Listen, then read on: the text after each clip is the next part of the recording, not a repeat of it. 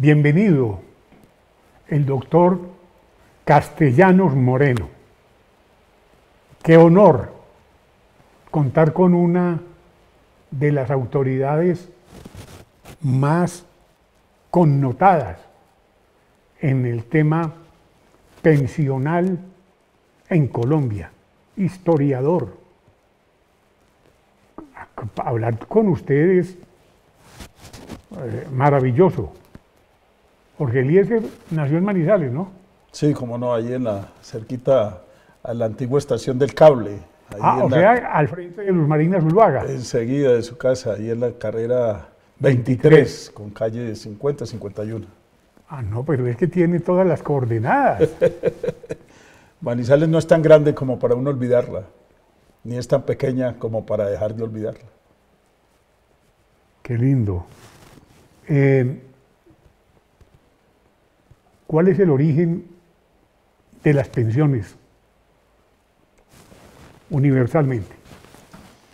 Bueno, William, hay una cosa interesante que pocos conocen y es la... Y usted es el único que sabe. La información que existe de vieja data, más o menos 3.000 años antes de, de, esta época. Es decir, eh, en el momento de la tierra prometida aparecen las pensiones. Cuando el pueblo ya ha salido de Egipto. De la tierra prometida. El señor Josué, notario de la época, eh, reparte no a las 12 tribus las tierras, es a 11 y deja una por encargo del Omnipotente para que se encargue de las tareas oficiales del manejo del tabernáculo, la recepción de diezmos, primicias y ofrendas, que es la que constituyen eh, en dinero y en especie, lo que sería el primer fondo público de pensiones del derecho hebreo.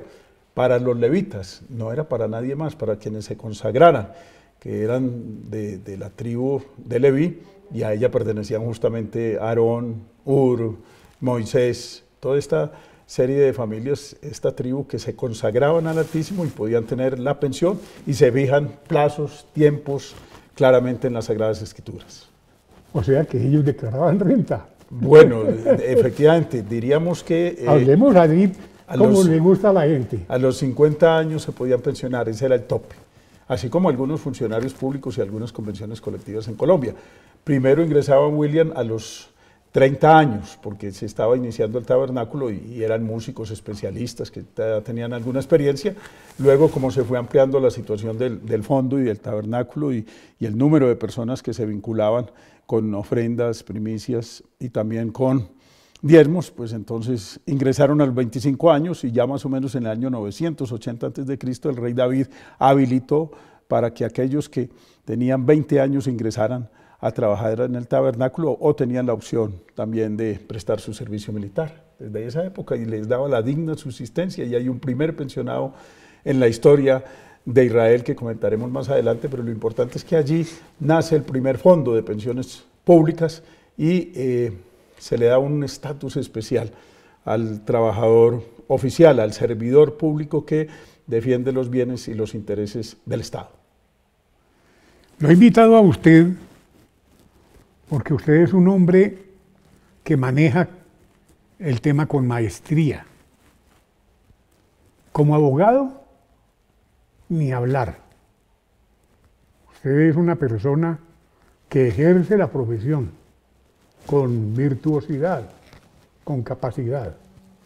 Pero si a eso le, si a eso, si a eso le, sumamos eh, lo que acaba de comentarnos que es la parte histórica que yo no conocía y que la mayoría de las personas que nos están viendo no conocen, pues hombre, eso me, llena de, gran satisfacción. Mm, yo, quiero ir eh, más allá o más acá eh, con la Policía Nacional que usted sí que conoce esto, este tema. Quien la trajo a Colombia fue el abuelo o el papá o no sé, del doctor Carlos Holguín Sardi. ¿Qué, hicieron? Cuénteme. Bueno, sigamos el hilo conductor de las pensiones. Entonces, el Fondo Hebreo Ah, bueno. precisamente permite... como yo no conozco bien el tema y tengo un poco de cosas con quien he hablado previamente con su señoría, sígame hablando del mundo hebreo. Bueno, hablamos de, de- Hay que tener un ministerio jurídico especial con sensibilidad social. Las pensiones es uno de los temas más sensibles, inclusive ahora en la reforma tributaria. Pero volviendo al tema, eh, un hilo conductor parte de 980 años antes de Cristo, cuando ya se forma el primer fondo de pensiones públicas, ya lo dijimos, se nutre con eh, los diezmos, las primicias y las ofrendas, y eh, podrían ser Primicias y ya ofrendas. podrían ser en, en especie o en dinero. Y eso todo iba al fondo de pensiones. La gente trabajaba hasta los 50 años y ese era un tope. Como eh, lo hizo alguna vez eh, un presidente de la República que exigió que los decretos reglamentarios de la Ley 100 tuvieran para regímenes especiales solo hasta 50 años, no bajar esa edad. Y es una edad que es bíblica. Interesa mucho porque este poemario de eh, 66 libros, 39 del Antiguo Testamento y 27 del Nuevo Testamento, están hablando lo mismo. Hay una coherencia, hay una articulación y demuestra cómo un tema álgido, no solamente el derecho laboral, el derecho penal, eh, el derecho notarial, sino que también se ocupa de la seguridad social y nace allí en, el territorio hebreo justamente a partir del momento en que Josué toma posesión de la tierra prometida en Canaán y empieza a repartir las tribus, cada una con su territorio específico, Josué, 11. 11 y una exclusivamente para la tribu de Leví, que era la tribu de Moisés. Y efectivamente, luego vienen, eh, más o menos en 1853, lo que se llama la carrera administrativa Otto Bismarck en Alemania. Trae unas cosas interesantes como es una especie de seguro social, se pagaba una pensión por la mitad del de, el sueldo que estaba recibiendo y le da un estatus, es importante, al funcionario público, que es servidor del Estado. No me va a cortar mucho, más bien demárqueme un poquito ahí Sí, las orejas, por le favor. Estoy, le estoy demarcando uno más. Y entonces Otto. Bismarck, en 1853, por allá el 15 de junio, recuerdo, Sí. ya organiza lo que es el estatus de eh, la carrera administrativa para darle un servicio eh, muy oficial, un estatus al empleado o servidor público que defiende los intereses y los bienes del Estado. Es lo que se llama la carrera administrativa.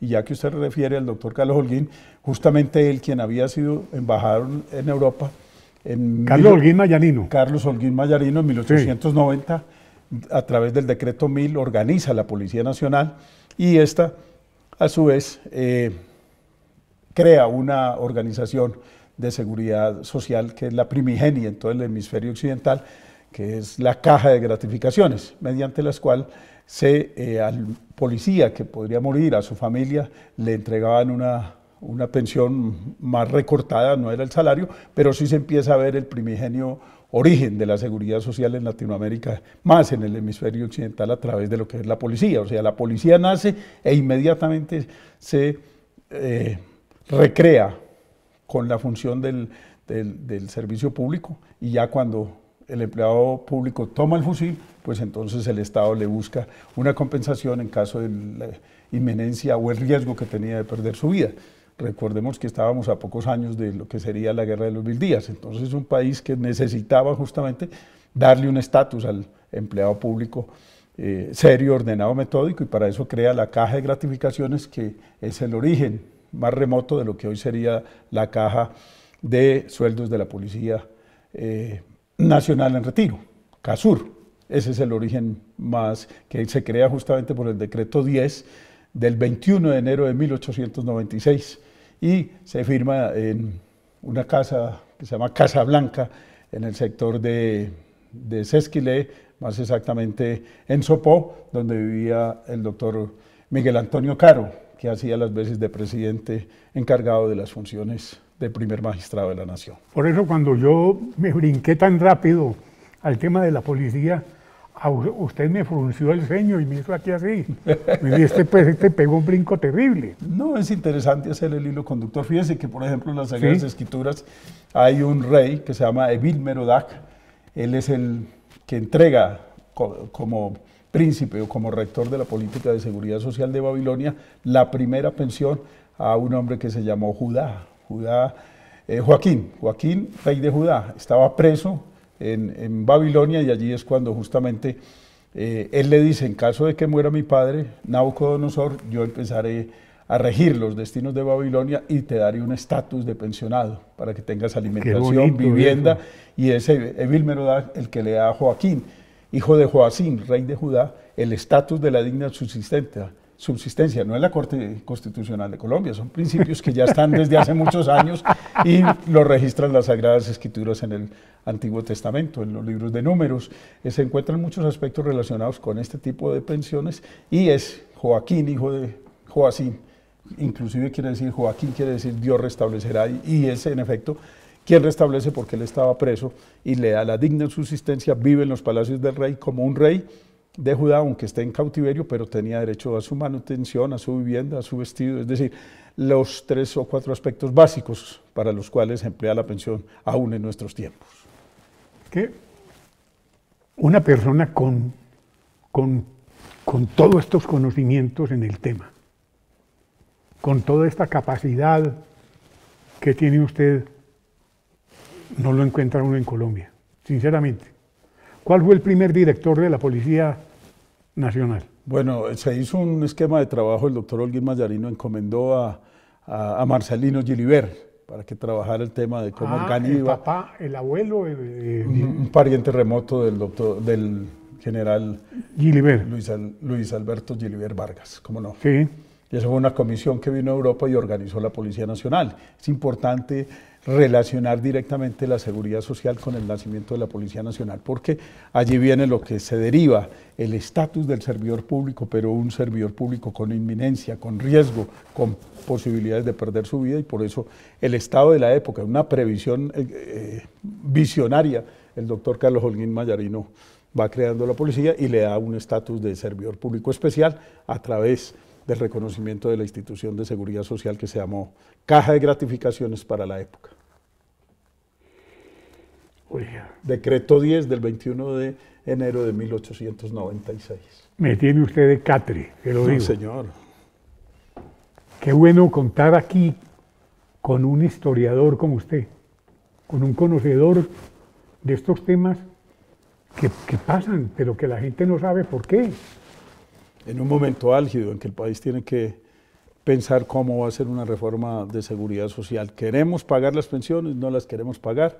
Si las vamos a pagar, ¿cómo lo vamos a hacer? Con un sistema de, dos frentes, el, frente público, con pensiones y demás entidades, y los fondos privados de pensión. Es importante ahí analizar cómo después de, de, Otto Bismarck y después de que aparece la seguridad social en Colombia con la Policía Nacional muy, muy adherida, eh, muy concomitante, intrínseca, aparecen leyes en el año 45, después en el 61, en el 62 y ya en 1967, el primero de enero, se organiza lo que es el Instituto de Seguros Sociales obligatorio, el IS. No, eran, no era una situación simplemente de afiliarse o no, sino que además van surgiendo nuevas leyes en años 75, 76 y hay una ley que es importantísima, la ley 71 de 1988, que es la que acumula los tiempos públicos y privados, y además ya aparece la ley 100, que es la que acaba con unos regímenes, respeta algunas eh, prestaciones económicas de los empleados públicos, eh, especialmente de la policía y de las fuerzas militares, pero también establece la posibilidad de tener una cuenta de ahorro individual en un fondo de pensión privado o continuar en lo que era el seguro social hoy con pensiones, régimen de prima media con prestación definida. Hay unos requisitos y hay, y hay algo a lo que nadie puede renunciar, porque a nadie le pueden quitar su derecho. Fíjese, desde la época de Bill que Bill Merodach estaba preso en un estado diferente, era extranjero, sin embargo tiene derecho a la pensión. Y en Colombia se han pensionado muchos expresidentes de compañías eh, importantes transnacionales, son extranjeros pero tienen derecho a su pensión. Y si tuvieran algún proceso judicial y, son efectivamente condenados, la pensión les seguirá siendo pagada. Desde esa época, estamos hablando ya de términos del reinado de, de Nabucodonosor y su ingreso a la regencia política y al asumir el poder de Bill Merodach, años anteriores, dos mil, mil años anteriores al nacimiento de Cristo y tres mil a esta época. Tengo, tengo pues obviamente mm, una inquietud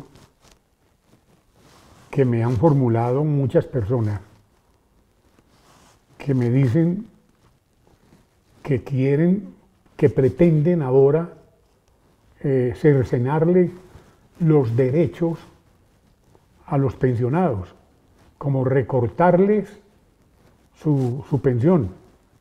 Bueno, fíjese que el derecho pensional es tuitivo eh, a la seguridad social. Eso indica que busca las mejores condiciones tanto de los afiliados como de los pensionados al sistema de seguridad social y además es progresivo, eso indica que no puede eh, tener ese tipo de recortes. Ahora que se habla de la reforma tributaria, tocar las pensiones realmente es una situación delicada porque estaríamos hablando de un país incierto, no podemos recortar eh, las alas a quien ya no puede eh, volar, es decir, no podemos buscar que fiscalmente tapar un hueco con la plata de los pensionados. Lo que pasa es que no hay investigación tributaria y es muy fácil el, el recaudo de impuestos a través de esquemas de, de, manejo de transferencias, de nómina y demás, como corresponde a las pensiones.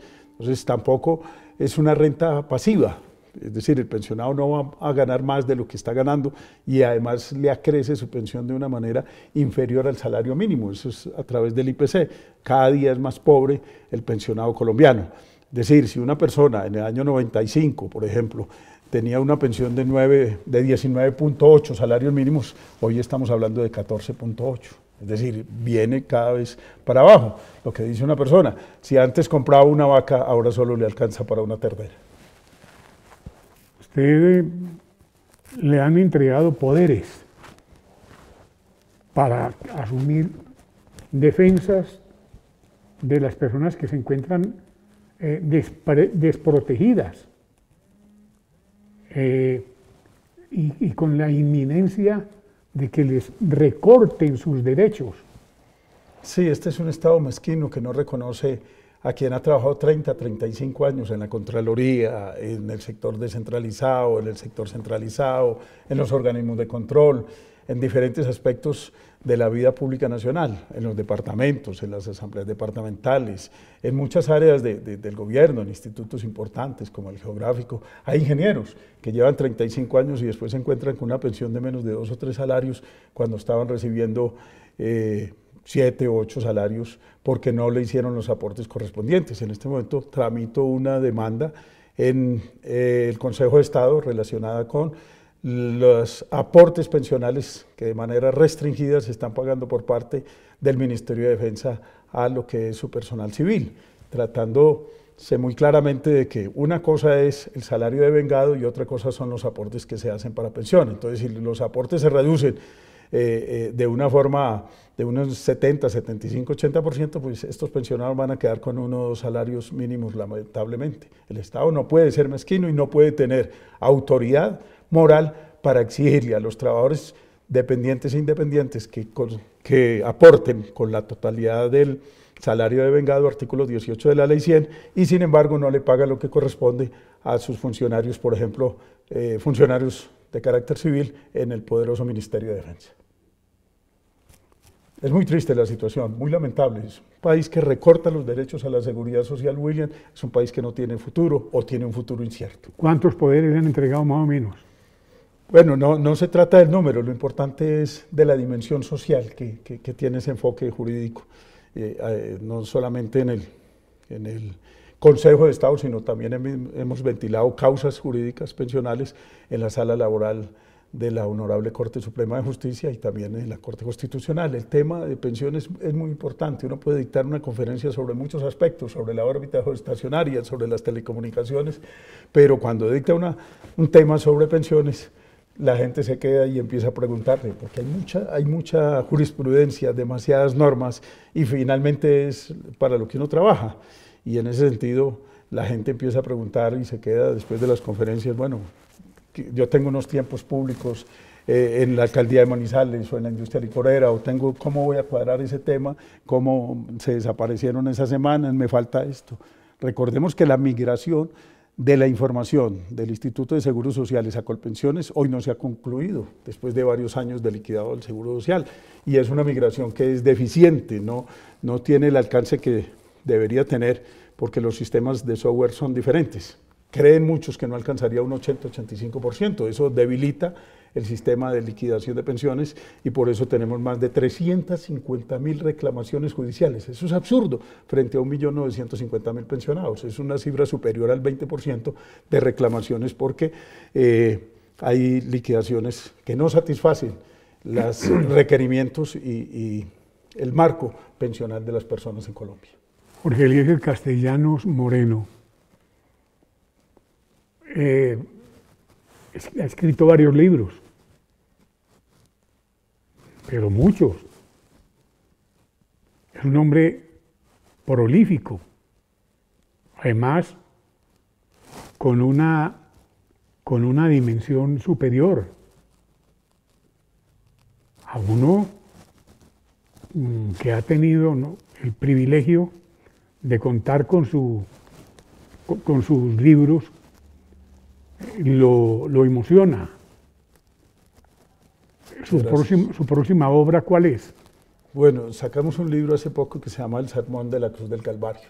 Es un ah. tema exitoso, porque no es una simple manifestación de siete palabras, no, es todo un testamento de Jesús allá en la cruz, eh, eh, derramando su sangre y muriendo por toda la humanidad para el perdón de los pecados.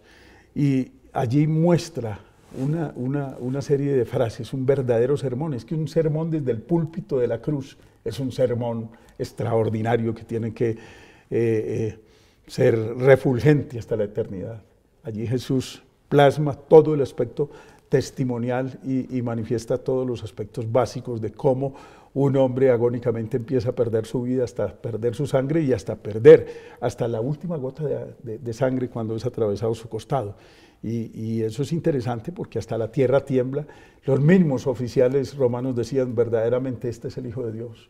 Entonces es una cosa que va más allá de un simple pronunciamiento, es un verdadero testamento dejado hacia la eternidad y ha tenido muy buen, eh, en, librerías seculares ha tenido muy buen suceso. Entonces ahora nos preparamos para otro libro después del Espíritu del Águila que nos dio mucho éxito, la visión estratégica precisamente del éxito, que es un, animal que compila todos los eh, marcos estratégicos de las grandes teorías modernas de los gurús en materia empresarial, visión estratégica, calidad total, reingeniería y otras. Y es un animal que comporta los mejores criterios de emblemas numismáticos y corporativos de las principales empresas del mundo, aeronáuticas, comerciales y bancarias.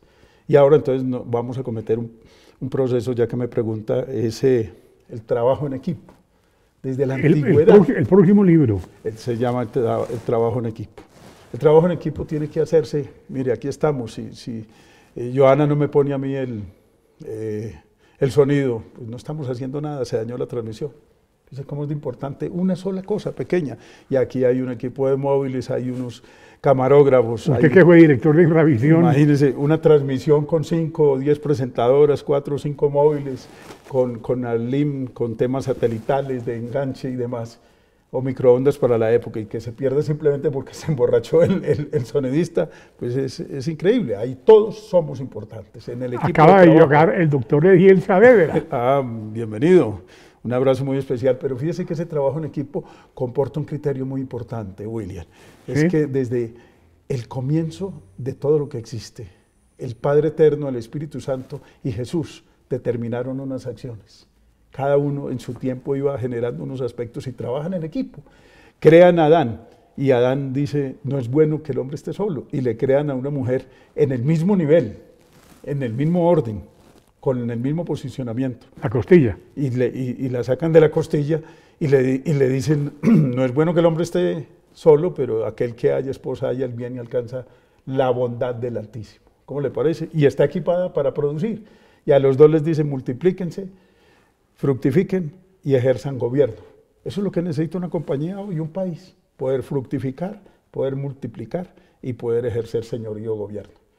Bueno, Si suma se pierde, porque uno más, de los primeros cinco dígitos, uno más dos más tres más cuatro más cinco nos da 15, pero uno por dos, por tres, por cuatro y por cinco nos da 120. Hay una diferencia notable. cuando vaya a lanzar el próximo libro, eh, quiero que venga aquí. Muchas gracias, estaremos con... Ese es un tema apasionante. ¿Sabe cuál es uno de los problemas que no transforman la sociedad nuestra? Es que no sabemos trabajar en equipo. Colombia tuvo nueve medallas olímpicas en Londres. Una fortuna extraordinaria. La señora Ibargüen, colombiana, trabaja en Puerto Rico, en un país diferente, con un idioma diferente, con un técnico extranjero diferente, esfuerzos individuales. Mientras no trabajemos colectivamente y todos seamos responsables de todos y juntos ponemos todos y todos ganamos, se va a perder esta Hoy, locura de 18 de país. octubre de 2022, a las 6 de la mañana, Colombia accedió a las finales prácticamente del Campeonato Mundial de Fútbol con unas niñitas de 17 años. Fíjese, William, en, Costa Rica las, las niñas trabajaron muy bien con el equipo de Alemania y le ganaron. Trabajaron un equipo, cada una respondía por la otra, escalonadamente hacían presión, manejaban bien eh, la pelota por las bandas, hacían pases perfectos, cada una estaba aguerrida con toda su fuerza y toda su capacidad trabajando bien del equipo y el equipo ganó. Después con Brasil no trabajaron en equipo. ¿Qué pasó en el camerino? ¿Qué pasó después? Un poco de gloria anticipada, muy propio de nosotros que a veces jugamos antes de ganar los, antes de jugar los partidos los ganamos. Pero fíjese lo que pasó esta mañana, usted lo dice, trabajan en equipo, eh, hay fortaleza. Como cantaron el himno nacional. con, con mentalidad ganadora, le podemos ganar a México y, y le ganaron a la China. Pero ¿qué pasó con España? Ahí hay problemas. Pero cuando el equipo colombiano, el mejor capital que tienen los países latinoamericanos es- son sus recursos humanos. Aunque tenemos todos los recursos minerales, marítimos que usted quiera, pesqueros muy grandes. Pero el mayor recurso es el talento, porque es la riqueza etnográfica, cultural de todo lo que nos legó España, de todo lo que vino aquí, de nuestros indígenas y también de, de aquel eh, cruce con los africanos. Mi doctor, qué honor tenerlo aquí. Una dicha para mí y un privilegio. Muchas Créame gracias. que me siento muy emocionado. Bueno, y sigamos trabajando aquí con las pensiones. Este tema es maravilloso y ahora que necesitamos un- una claridad, si el país va a pagar o no va a pagar las pensiones y cómo lo va a hacer. Si el país va a pagar o no va a pagar las pensiones. Ese es el gran ¿Y cómo lo va a hacer? Ese es el gran fondo. Muchas gracias, maestro. Muchas gracias, muy complacido. William, hasta la próxima. Muy querido. Qué Un honor. saludo muy especial a todos los feliz. oyentes.